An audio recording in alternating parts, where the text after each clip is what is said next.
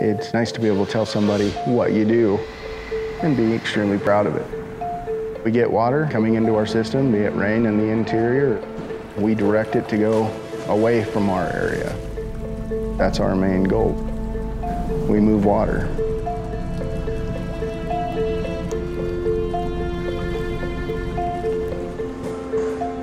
I'm extremely fortunate to be working at a place like this, and it's because of the people I work with. They're guys you can count on and be able to uh, lean on when there's something that you don't know. And for such a small group to have all the knowledge that you need together is, is nice. I think we're lucky that we have these many people that work together and help each other. Makes it run smooth. The goal for our team is to effectively maintain and manage the levee systems. That's mowing, repair projects, and also a big part of what we do is stormwater management.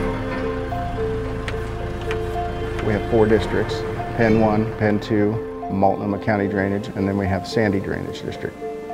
We maintain all of that.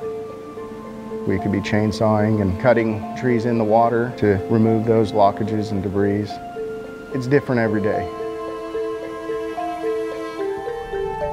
Our guys will work in two different shifts if we need 24-hour surveillance. Some guys will work nights, some guys will work day shifts.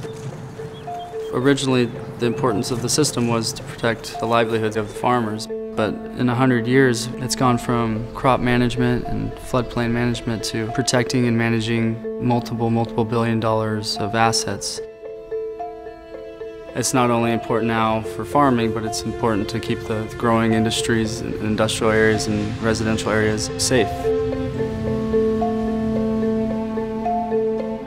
Sometimes what we do goes unseen, but for MCDD and the services we provide, it's extremely of the utmost importance.